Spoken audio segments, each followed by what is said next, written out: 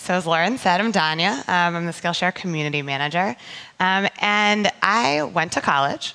So, you know, for those of you out there who may have heard that our founder dropped out of college, he has a master's. I loved my experience.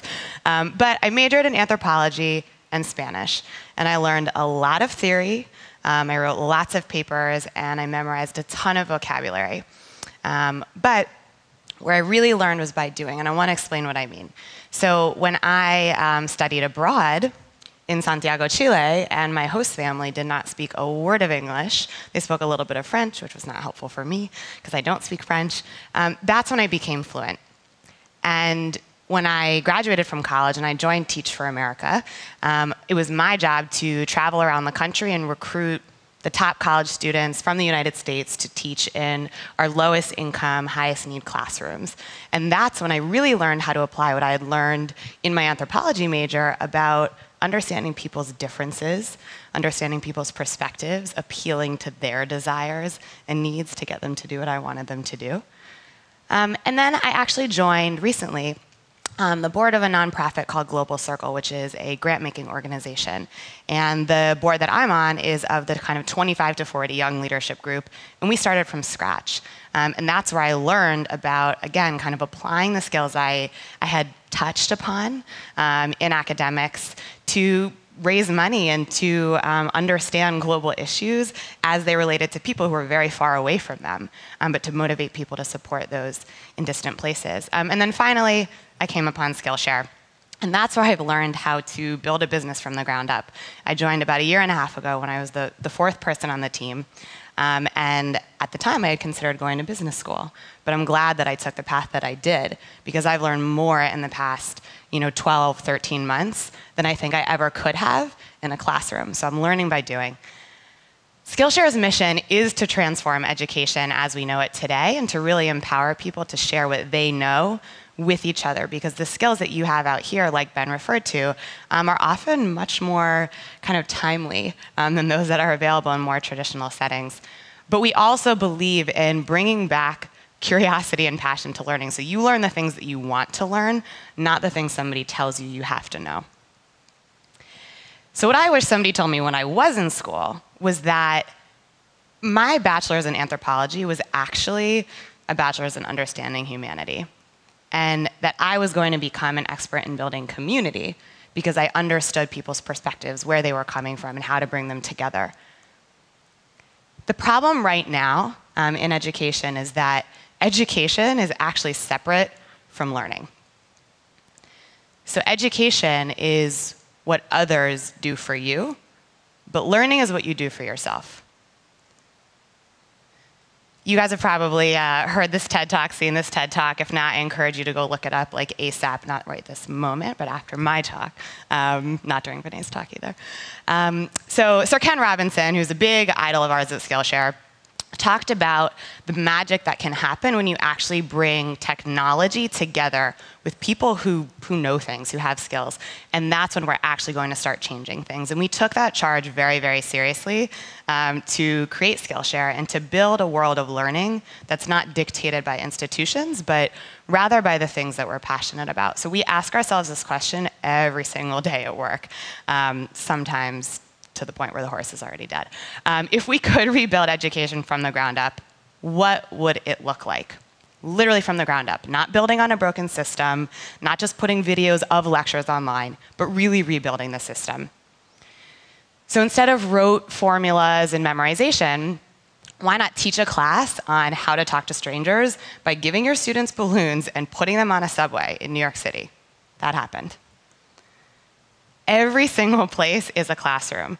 So if you can teach a skill that doesn't require a PowerPoint, which I would encourage you to consider, um, you can teach it in a coffee shop. And if there's something that you're passionate about, that you read tons of blogs about, that you've been doing for six months more than someone else, you have something to share with other people. And at the very least, you can tell them what mistakes not to make because you've already made them. But that's not to say that you know learning ever stops or, or, starts just because the bell rings, right? Like everyone here is here because I'm guessing there's something you want to learn today and tomorrow to apply to what you're already doing, to improve what you're already doing. every single person in here has something that they want to learn. And, and the fact is, not everything you want to learn, or maybe not everything the people on the street who um, don't have access to the things that we're talking about in here.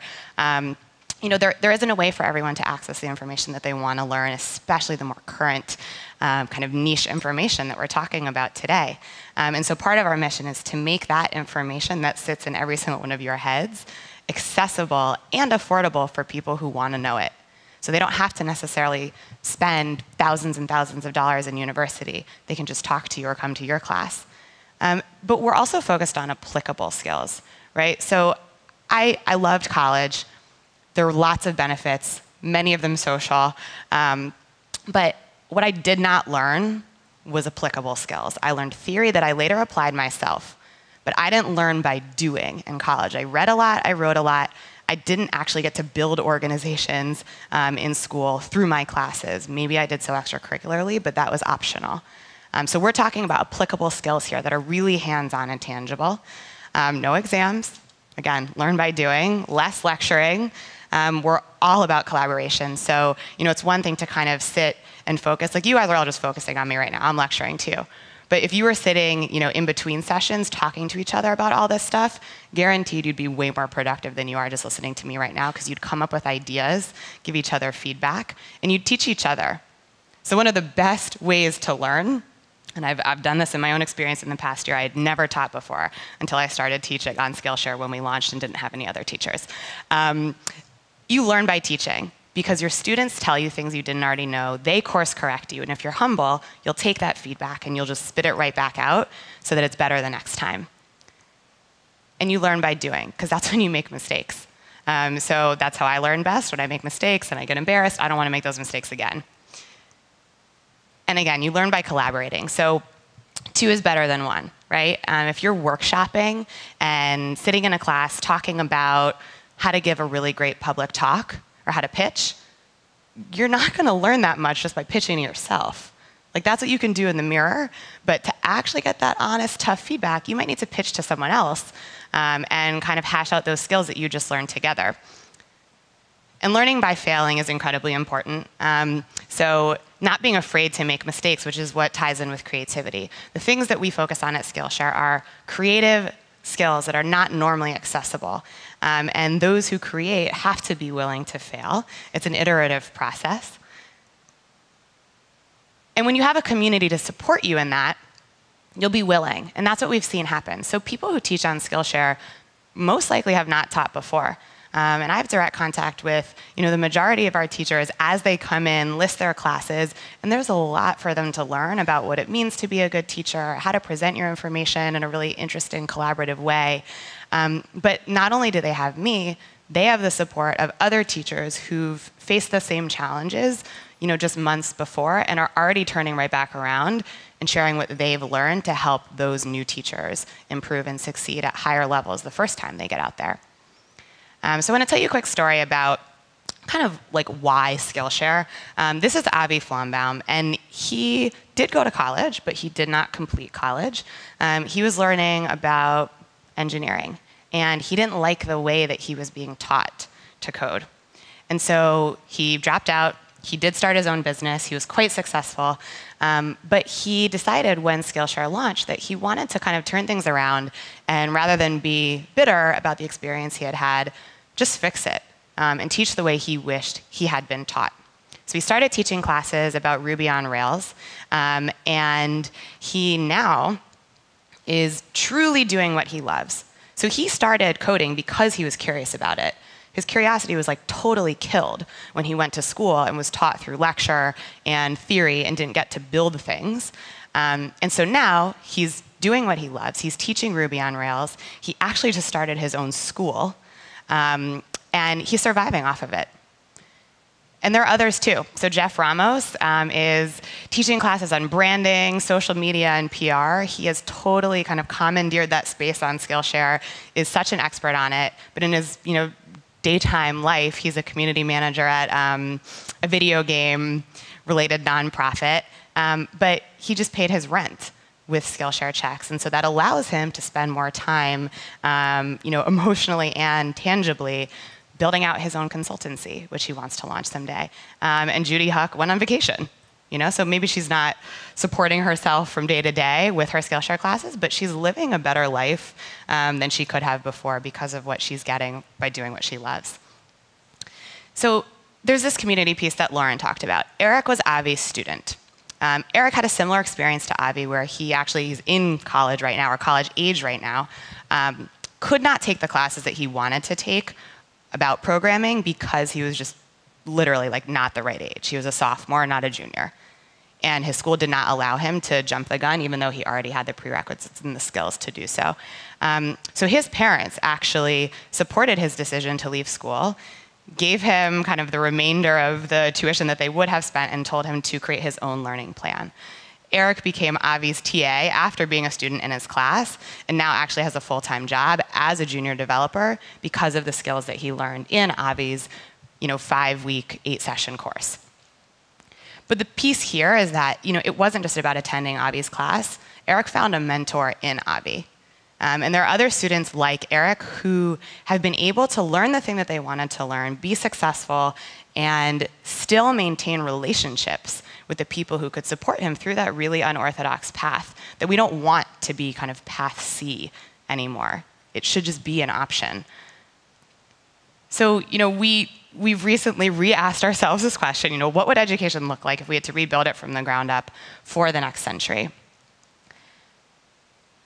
And to the point about access, we realized, like, all right, local classes can be incredibly powerful, right? Tap into the knowledge of the people in your own community, learn what you need and want to learn. But what if there aren't people in your community who are on Skillshare? Um, or what if someone in your community um, needs to learn something that just isn't around in someone else's brain in your community. They need to learn from someone two countries away. So we created hybrid classes, um, which are a combination of online and offline learning. So there's lots of online instruction and resource sharing, but the offline piece happens through student collaboration in in-person workshops that are student-led. And this is all about recognizing that the world's most abundant skills, uh, excuse me, uh, resources are skills and people. Um, and to allow someone in Sweden to learn from someone in New York is really powerful. So we just launched um, this new product a couple weeks ago um, with classes like um, Fred Wilson's class here. So who's read Fred Wilson's blog? Is anyone familiar with him?